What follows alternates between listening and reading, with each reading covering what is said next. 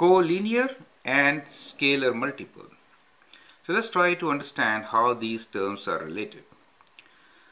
Two vectors x and u are collinear if and only if it is possible to find a non-zero scalar a such that x is equal to a times u. So let's explore this definition, right? When we say two vectors are collinear, then we are trying to say that they are in the same line. That means they are parallel. And they are exactly in the same line, right? They could be in opposite direction. Now we say two vectors x and u are collinear if and only if it is possible to find a non-zero scalar a such that x is equals to a times u such that you can write vector x in terms of u by scalar multiplication. So that is what we're trying to say here, right? So, so if we have a vector, let us say u as this. Let's say that this represents vector u to us. Now, if I do 2 times u, then how will it look like? 2 times u will be this and this. So this is 2 times u, correct? So we can write this as 2 times u. And how about minus 3 times u? Minus means the direction reverses and it will be like this, right? 1, 2 and 3. So these are my approximate drawings just to illustrate the point. So this is minus 3 times u. The numbers 1, 2, 3, whatever we are writing before u, they are all real numbers and they just multiply the vector and they don't really change its direction at an angle but the change could be either in the same direction or opposite direction. So what you observe here is either it remains same or it could be opposite direction changed by 180 degrees if a, the scalar multiple is negative, right?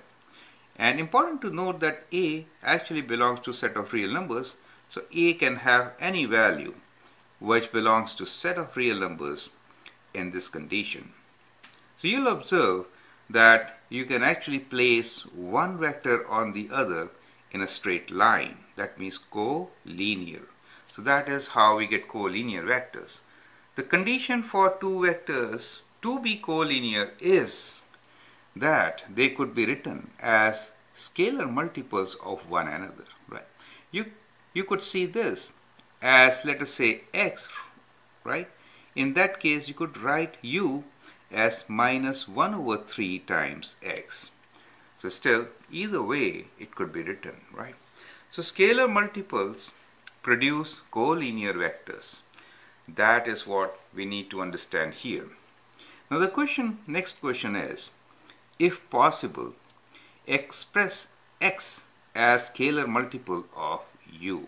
So in this question, x is equals to 8i minus 6j. i and j are unit vectors along x and y axis. And u is given as 12i minus 9j. So if they are scalar multiples, then one vector can be written as a scalar product or scalar multiple of the other, right? Now, if these two vectors are collinear, then we should be in a position to write one vector as a scalar multiple of the other. So let's try to do that. So what we have here is 8i and I'll use column matrix for this. So 8 Okay, now I've written like this. So let me just continue with the normal. So we have 8i minus 6j. So just forget about this. Should be equals to some constant, let us say a, times 12i minus 9j, right? Now that means that by scalar multiplication, we will get here 12 times a times i, that's the unit vector i and j, minus 9aj, right, should be equal to 8i minus 6j.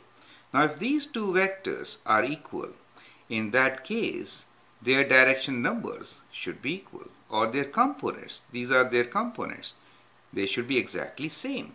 So in that case 8 is, should be equals to 12a, so we can write one equation that is 8 equals to 12a and the other is minus 6 is equals to minus 9a.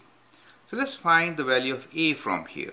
So a is 8 over 12 and 8 over 12 can be written as 4 over 3. Uh, 4 divided by 8 is 2, 2 over 3. So 8 over 12 is 2 over 3. And from here, what do we get 8 as? So here, we can solve for a and we will get minus 6 over minus 9 equals to a which is if you divide both by 3 you get 2 over 3 so we get exactly same value of a right so that means yes if I write a I could write 8i minus 6j as 2 over 3 times 12i minus 9j. So if I can do that, that means that vector x is a scalar multiple of vector u, right, where a is 2 over 3.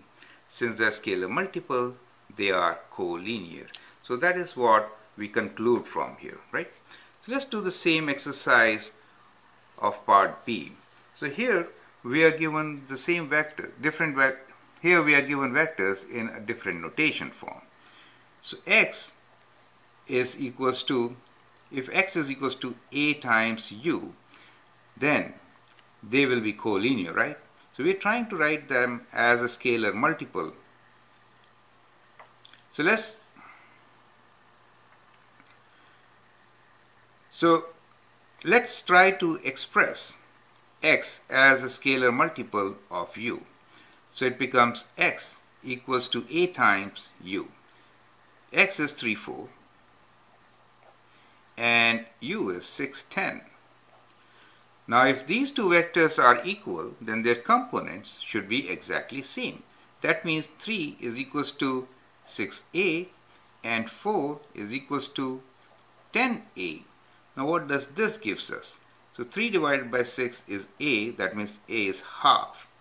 In this case, we get 4 divided by 10 is equals to a, and if you simplify this, you get 2 over 5. Now these two values of a are different.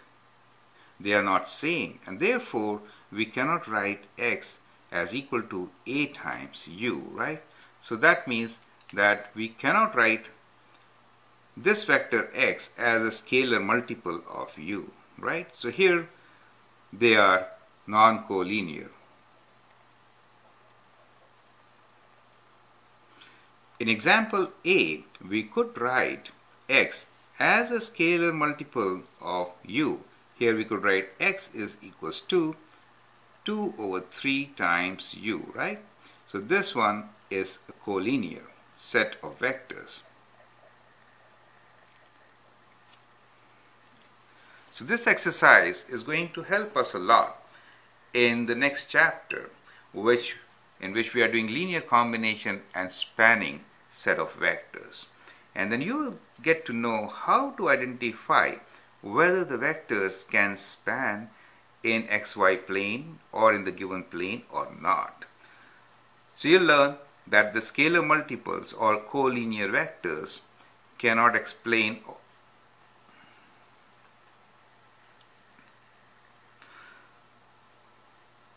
So we will soon apply this knowledge while doing linear combination and spanning of vectors.